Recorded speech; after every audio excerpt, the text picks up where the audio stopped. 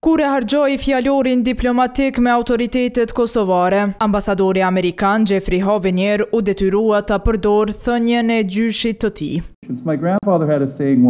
Gjyshi im ka thënë, dhe ju lutem më falni për karakterin e shëmtuar, paksa, se nëse dëshiron të bëhesh pjesë e një klubi, atëherë mos pshurr te dera e klubit. Një nevojë tjetër fiziologjike, e pati përmendur edhe paraardhësja e hovenierit, Tracey Ann Jacobson, kur bëri përpjekje për t'i pajtuar politikanët kosovarë, në garën se kush duhet ta marrë kryekuvendarin para dhjetë viteve.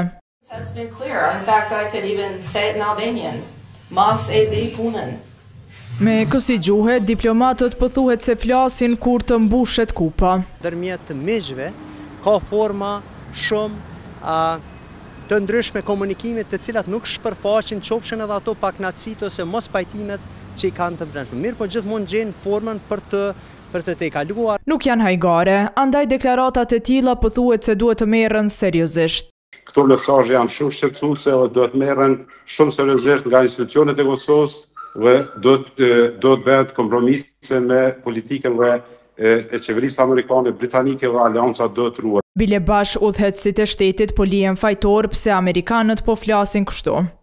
Është një gjeneratë e liderëve të papërgjegjshëm, për fatin e keq, është duke munguar një politikë e matur. Andaj, ambasadori po vlerësohet se komunikimin e të mërkurës e bëri drejtpërdrejt me publikun. Problemi kryesor i ambasadës amerikane, i ambasadave të vendeve të Quintit, i shteteve mike është me Qeverinë e Kosovës. Që të mos nervozohen e të flasin në masë me kësi gjuhe, që i shkon për shtati veç Serbisë. Këta kërkojnë që Kosova e Amerika të bashkëpunojnë si gjithmonë.